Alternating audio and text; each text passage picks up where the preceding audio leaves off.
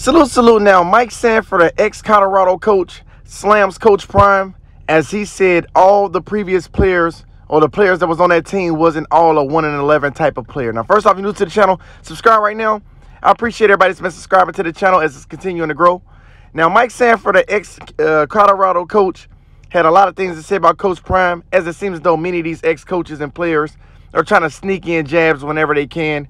And this is one of the latest ones to try to do so, as you got a guy like Mike Sanford, who was part of the 1 in 11 ball club. And it seems like he had a lot of things to say, as he said, um, all the players on that team wasn't a 1 in 11 type of player. Now, for my, my, my outside observation, I would say I didn't really see that Coach Prime said that all those players was a 1 in 11 type of player. He gave these guys an opportunity to go out and compete.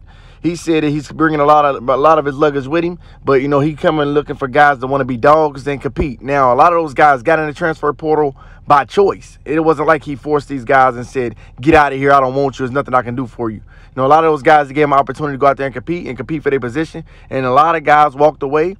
As you're seeing some guys like a Chase Main came back and he's willing to compete. Now, at the end of the day, uh, you got a guy like got a guy like Mike Sanford, who was ex-coach. He had a lot of things to say. As I said, he he slammed Coach Prime, basically saying, or or you know, uh, coming at the way Coach Prime has rebuilt this ball club in Colorado, and it seems though he felt as though all those players last year wasn't a one in eleven person or one in eleven player.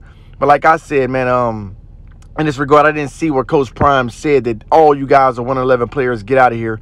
He basically said if you don't want to compete, if you don't want to be dominant, if you don't want to, you know, uh, be fast, tough, disciplined, then get in the transfer portal because he's coming with dogs. In that regard, you know, if you was a guy that felt as though you're not a 111 person, I felt as though you should compete, stick around, and see where you stand amongst the dogs, in my opinion. Like, comment, subscribe, turn on post notification. Y'all get in the comment section below. Let me know what y'all think about ex-coach um, Mike Sanford for the Colorado Buffs.